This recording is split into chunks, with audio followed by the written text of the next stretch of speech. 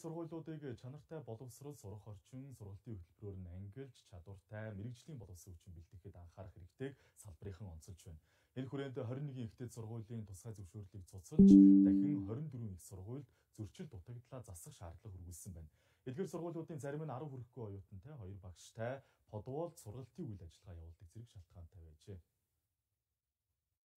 Газарчин дээд сургууль, Зүүн хүрээ коллеж, Маргад дээд сургууль, Монголын менежмент технологийн дээд сургууль, Монголын хүний нөөцийн удирдлагын дээд сургууль, Түшээ дээд сургууль зэрэг 21 сургуулийн үйл ажиллагааг хааж байна. Эдгээр их дээд сургуулиудаас 13-ийнх нь үйл ажиллагааг бүр зогсоож 8 сургуулийг бусад сургуулийн харьяанд шилжүүлж байна. Мөн 1567 оюутныг өөрсдийн хүсэлтээр өөр сургуульд шилжүүлж байгаа бол 163 багшийг шаардлага хангасан тохиолдолд бусад их дээд сургуульд шилжин ажиллах боломжоор хангах юм байна. Өнөөдөр хонголд үйл ажиллагаа явуулж байгаа. Тийм ээ 40 хүрэхгүй оюутантай хоёрхан багштай их дээд сургууль байж. Ийм их дээд сургууль байж болох уу? Тийм ээ. Тийм учраас энэ дээр бол цаашаа Монгол улсын засгийн газраас явуулж байгаа бодлого бол энэ их дээд сургуулийн одоо боловсролын чанарыг дээшлүүлэх чиглэл бодиттой одоо алхмууд ирдээ. Одоо нөгөө төгссөн хүүхдүүд нь төгсж гараад ажлын байрг болчтой. Манай дээд боловсролын тогтолцооны өнөөдрийн сул тал бол Монгол улсад эрэлт хэрэгцээтэй байгаа мэрэгчлэр одоо оюутнууд сургадгүй.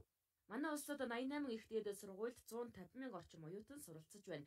Жилд 40 мянга орчим оюутан их сургууль төгсөж хөдөлмөрийн зах зээл дээр гардаг. Тэдний 3 төгсөгч тутмын нэг нь сурсан мэрэгчлэрээ ачлаж чаддаггүй байна. Тиймээс их дээд сургуулийн сургалтын хөтөлбөрт шинжилэлт шаардлагатай гэж үзэн 2564 хөтөлбөрт хяналт хийж 908 хөтөлбөрийг хүчингүй болгожээ.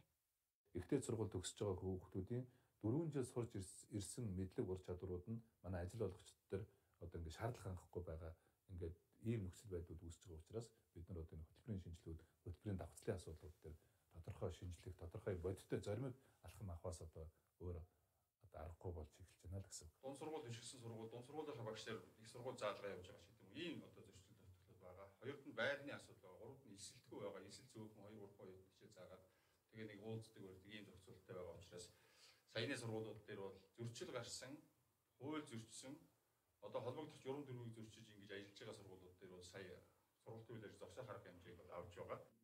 Ихтэйд сургуульд сурах нь л чухал гэсэн хандлага нийгэмд түгээмэл хамгийн гол нь чанарыг биш хэлбэрийг чухалчилж байгаа нь ажилгүй хүмүүсийн тоог нэмэгдүүлж байна. Тиймээс энэ асуудалд онцгой анхаарч ихтэйд сургуулиудыг чанартай сургалтын хөтөлбөрөөр нь ялгадаг тогтолцоог хэвшүүлнэ гэж салбарынхан хэлж байна. Шин сэргэлтийн бодлогыг хэрэгжүүлэх